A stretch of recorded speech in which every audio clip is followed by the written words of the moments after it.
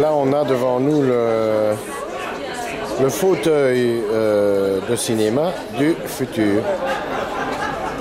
Alors, c'est confortable.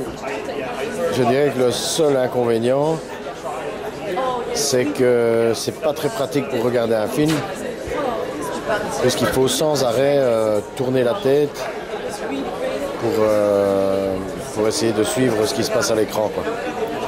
Donc on, on peut très vite attraper un torticolis avec ça.